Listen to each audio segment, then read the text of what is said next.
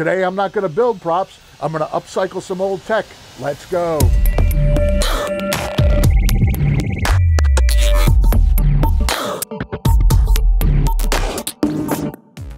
Hey, how's it going? Anthony Fro here, Create Sci-Fi. Well, today I'm going to upcycle some 90s, early 2000s tech, and I'm to make uh, some props for my new film that I'm working on. So typically, I'll build stuff on this channel. Uh, we just did the whole console. We made that from scratch.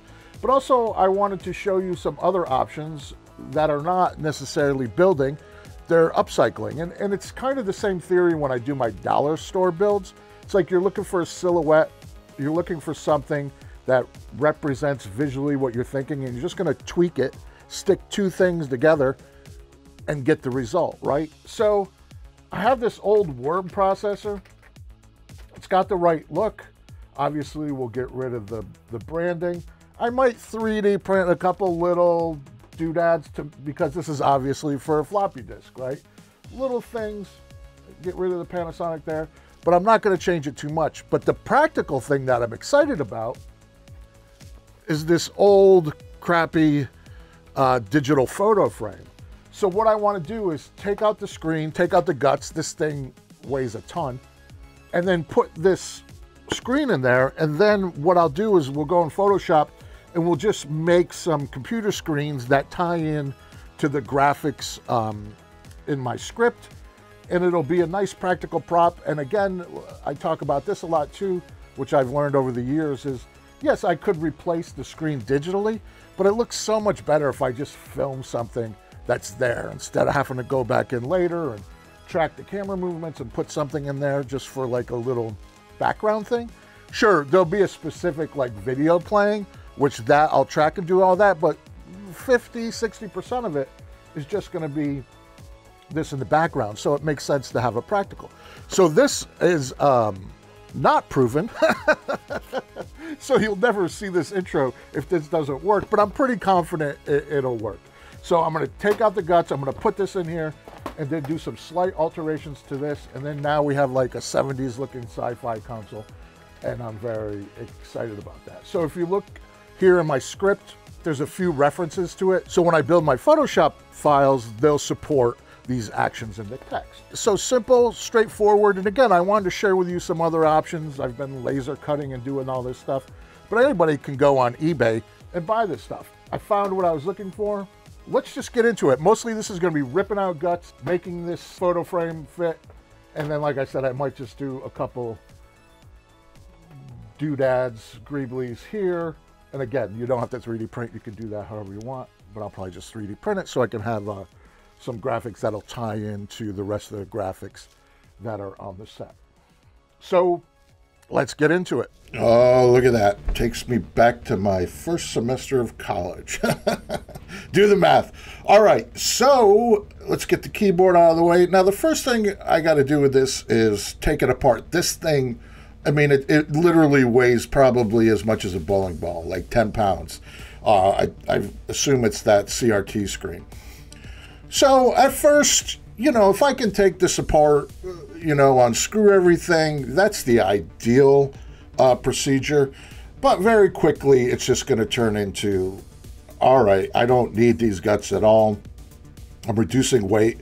This is a prop for one day in a film and it will slowly digress into just ripping stuff out. So where I can unscrew stuff, I unscrew stuff. You might be different than me.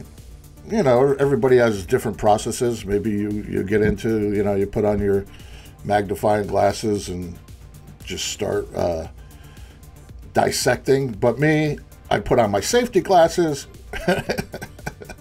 I'm just going to cut it open. Uh, with my Dremel tool with a cutting wheel.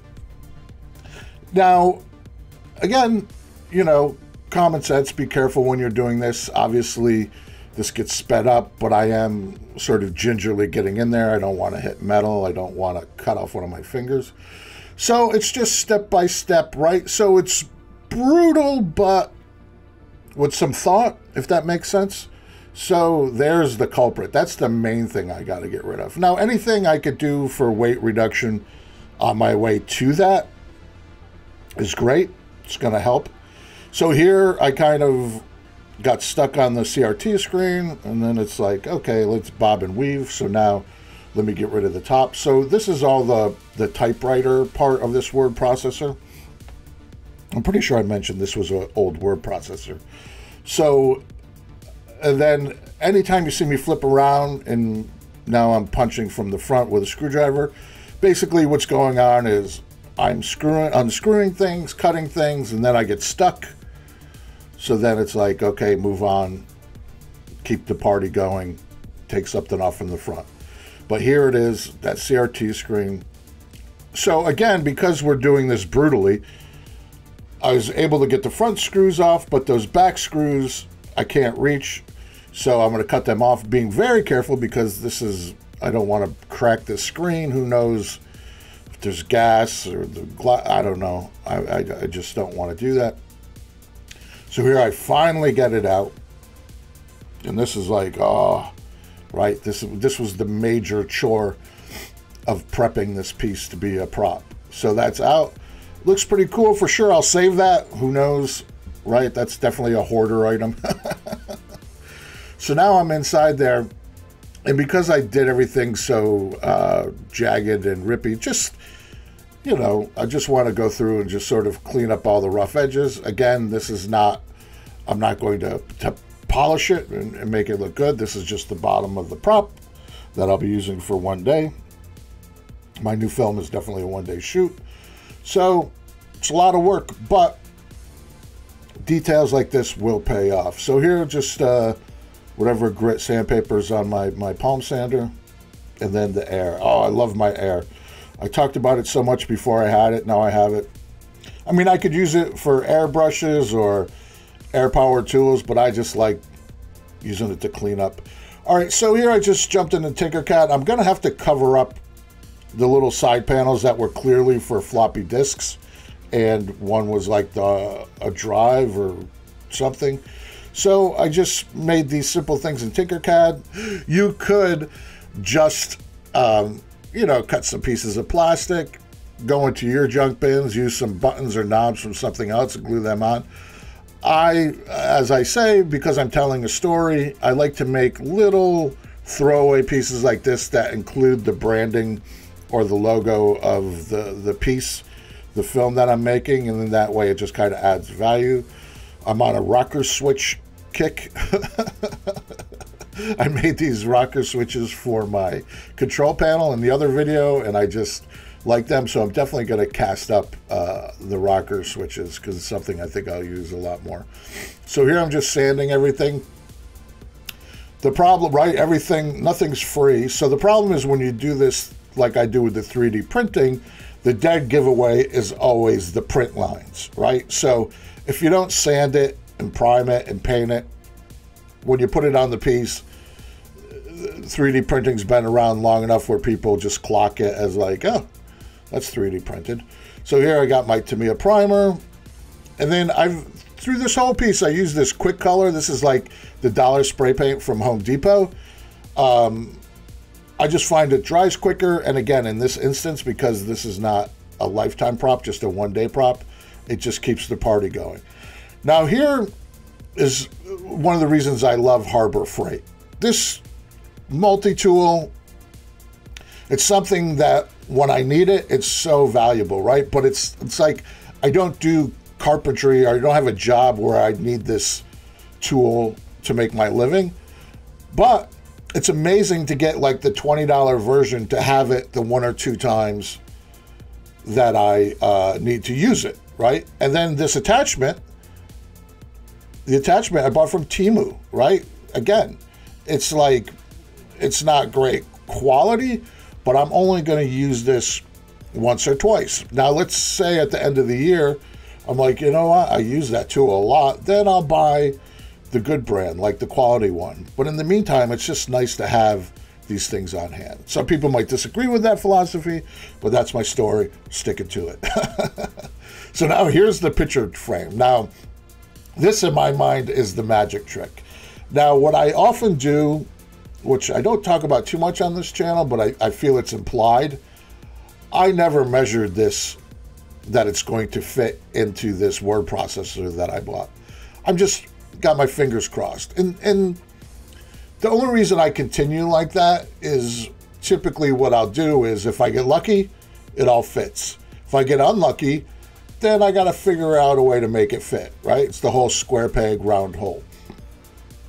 Now is the moment of truth. You, you know, I'm I'm using common sense when I'm buying things and looking at them and kind of in my head thinking, oh, that looks about the right size. But by no means is this going to fit. So here, the moment of truth. Can I just slap it back there or am I going to have to alter it? And it's kind of hard to tell, so I put some green tape on there just to be sure. And it's like, okay, I'm going to be able to proceed as I imagined. now, if that didn't fit, obviously this part of the video would be me using foam or some styrene plastic or something to make it fit, but it worked out. So here, now this screen, I do want to be able to see the screen through this sort of, it's like a tinted protective uh, glass. I guess in the old days with the CRT, it made it more visible. So once I start sanding, painting, and weathering, I want to make sure that that screen stays clear. I will make some adjustments to it to make it match the age of the piece, but before then, I don't want to make any sort of um, scratches or get paint on that that I don't want. I'd rather add it later. So here I'm just getting rid of the text. I'm going to paint this all on a black base coat, but sometimes with the screen printed letters and numbers, they, uh, you know, they have a little bit of height, so you see them through the paint. So I just knock those down. So again, with my brutal deconstruction of this box, a lot of stuff came apart. I don't know. I might have cut the screws. Who knows? I might have broke the contact points. So I'm just using five minute epoxy to sort of firm this up. And um, I like this five minute epoxy that I get from the um, from the hobby shop, just because it's in those tubes. I always have it in hand. I used to use those single use, but now I just always have it, and and I like the tools. It is something I use a lot, so now I buy the good stuff. All right, so a couple videos ago, anytime I do resin, I have my Evil Ted molds for my Greeblies. And again, I don't want to have that knob on there. That to me looks like typewriter. So here I'm just putting in this piece, fill in the hole. Round hole, round piece. and then I have that uh, adhesion promoter. I get that from the auto store. I don't know if it works, but I use it. We'll see. So there it is painted. Oh, I have a book that talks about why I make all these props before I have the money for the film. It's my process. Check out the book, link below. So here it is painted. Now I'm going to do a dry brush. Haven't done this in a while. The reason I painted this black um, and I'm doing the dry brush, there is a reason. So this was the right shape. It was the right vibe, this word processor. But if you leave it that white plastic that is so like obvious what it is, right? And still with the shape, it's obvious what it is, but it's not as, oh, I just bought that on eBay and stuck it in front of the actor. By painting it this color, covering up the floppy disk, gluing down, it makes it something else. So here's my Temu Danger stickers that I like to put on stuff. I always go for the fine print ones because they usually just say silly things, but you just want to give that impression. So while that's drying, uh, the, the little dry brush I did there, I'm going to treat these little 3D pieces. And I, in my mind, I'm going to do this rub and buff thing. This goes a little south. I've had this happen to me before and I forgot about it. So basically what's going to happen is I do the rub and buff. It gives me exactly what I want. And because I painted the piece in a matte I thought, you know what, these detail pieces, I'm going to paint them in like a high gloss. There I have some blue rub and buff. You, you want to try to use multiple colors just to sort of break it up. And there I'm laughing at myself now because I'm being careful and it's none of it's going to matter. So you see there, right? It's got that gloss. I'm happy about this. And I have this um, glaze that I'm going to put on it.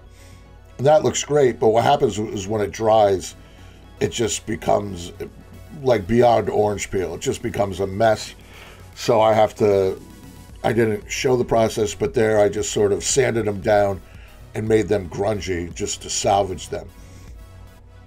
So off camera also, I have these little, um, it's like a candy tray that I pour resin in, and I made those two little square knobs. Again, those are just things that I keep around when I get into problems like this, where I was like, oh, that 3D piece that I custom made, it was too short. Right? Go figure. So now with the resin, it's not very important to do it in a ribbon like that. I just get bored.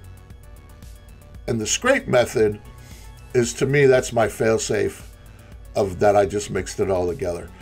And here I'm just blobbing it on here. Again, this is a prop. It's not going to go anywhere. You could probably adhere this better.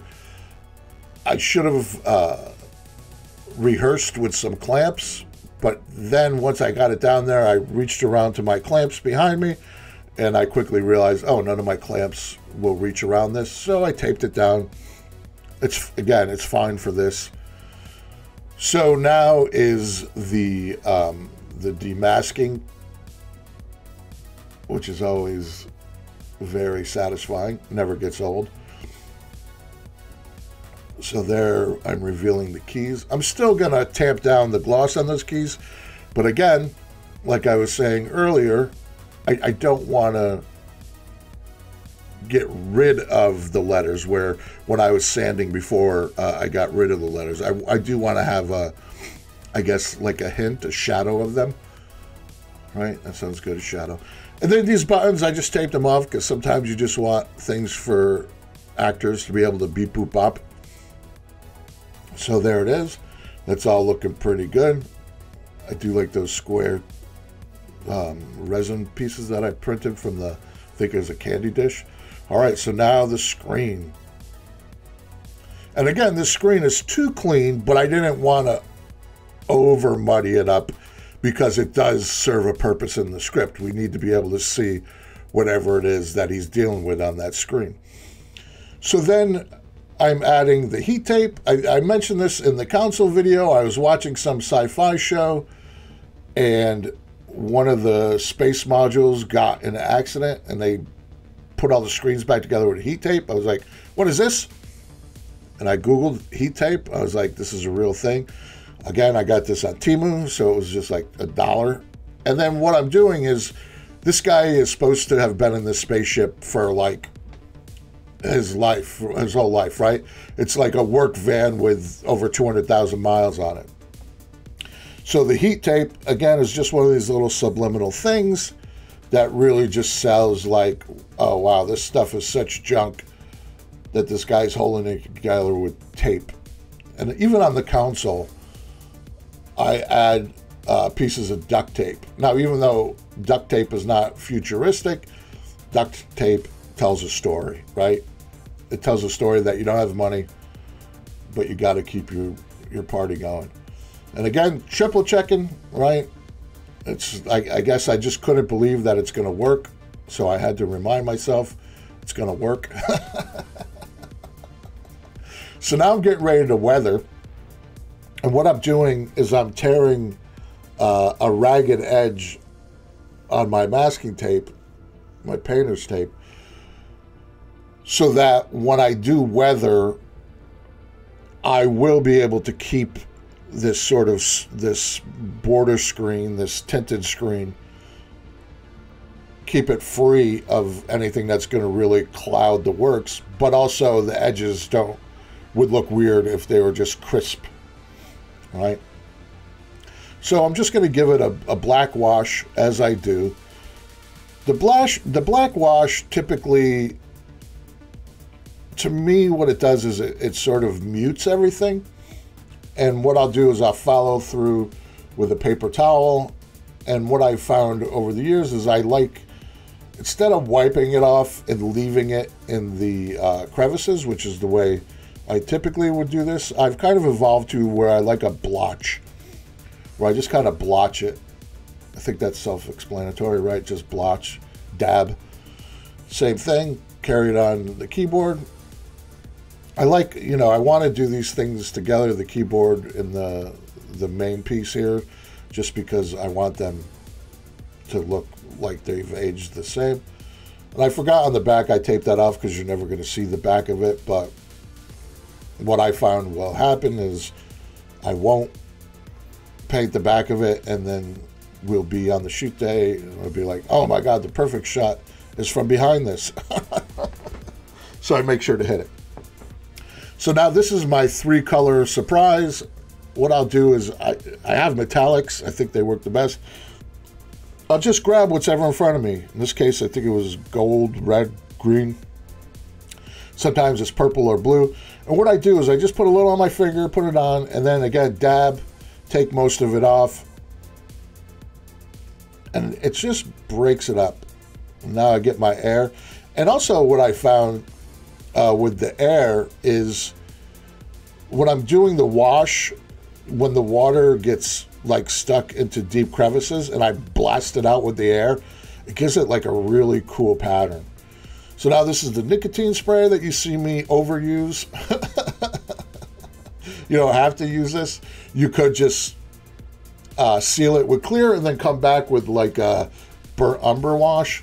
I just like the nicotine because it's easier. And again, it's expensive, but I've been doing this long enough where I'll buy the expensive stuff. If I was only doing this once, I would get the dollar craft paint of burnt umber, water that down. Oh, and then you see a good example there what I mean with the water. Just kind of blast it out. Now you see there, the, the core of that, the center of that is still clean. You can even see my reflection in there, but the edges are not perfect, which like I said would be weird. So now I'm getting ready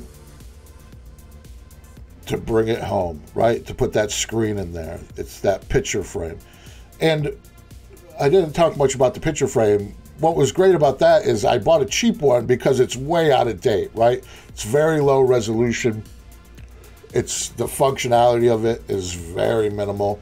But in this case, it's exactly the look I was going for, right? So if you're going for a more modern, a more clean, a more like Star Trek kind of thing, you might want to use like a refurbished iPad or your own iPad and just sacrifice it one day for the shoot and just make sure that when you install it, you're not doing anything to damage it. So there I just put down some foam because uh, the, the back of that sort of TV screen shape is hard plastic so I don't want to damage the screen. And then now I'm just simply, you know, I have that buck of the dimensions of the screen and where it needs to be. And here I'm just cutting pieces of foam. I'm going to hot glue them in and I'm just going to make like a cradle. I'm just going to make a shape, a form with hot glue and, and foam that's just going to hug that screen in there. And here I mean, I measure, it's important to measure and do things precise, but once I, I, I sort of get on a tear and I, I have a sense of what I'm doing, you know, I, I, I just, for me, it's more important to keep the momentum than to sort of measure things five times. Now, obviously, if it was the front and it was a hero piece and it would like needed to do a specific thing and the camera was going to be on it but this is inside. So now while the hot glue is drying this is what I did in Photoshop. Just very basic I won't do a Photoshop tutorial but this is just sort of the way that I that I pulled this off they're just simple it's like four images that are referred to in the script like he's like he checks like his email that's the home screen that'll be on in the background most of the time. So I have those four images. And then here, I'm just going to, um, this is the arm that'll hug the back of it. so I'm just going to hot glue that in place, a little bit of Velcro, and then that'll just sort of um, press it up against the glass. I, I could have got away with not using this, but I thought make sure it's as close as the glass to possible as possible because it's going through that tinted piece. So here I'm putting it behind, still not believing that it fits. Yes, thumbs up. And there she is. Wow. That, that came out really good. Okay, and now this segment I gotta stop calling the beauty shots. It's more the isolated detail view. Since clearly this is just on my bench with a piece of white board behind it. But it helps to show off what we did. And I'm very happy with that. Every time I see that screen, it makes me smile. We stuck two things together from eBay that weren't meant to be stuck together. That's what we do. Yeah. Pretty cool. Went on eBay, mashed two things together. It's practical, it's simple. I did do a little 3D printing, but you don't have to do that. And I'm very happy with the result. This was one of those things that I had it in my mind, what it could be, and it turned out better. Sometimes that happens, but sometimes you gotta pay because it goes the other way. but pretty much almost done with all the sets, props, and costumes for my new sci-fi short. We have a Patreon now, so if you join the Patreon, I kind of go in depth about what the new film is going to be about. So I share that sort of stuff on Patreon, and it helps me to keep doing this. So check out the Patreon, buy the book, check out the merch. I have all that stuff now, but I don't know. It's been over five years, so it's just evolution. But I'll always continue to do this for free for just because I'm going to do it anyway, and I enjoy sharing. and speaking of the Patreons, here's our new Patreons that I want to thank. And remember, I'm just here to help make sci-fi. Let's kick it to the avatar. Hey, I'm just the avatar, but you might want to check out this video, maybe that video. For sure, subscribe if you haven't, and check out the merch. Buy some merch, that really helps. But hey, what do I know? I'm just the avatar.